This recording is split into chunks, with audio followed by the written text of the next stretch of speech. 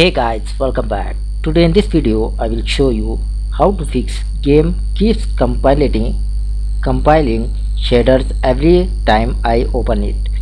So for this guys first method let the shader compiling process finished and the second method is update your game.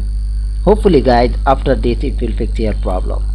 And the third method you open your all drivers right click on start and select the device manager.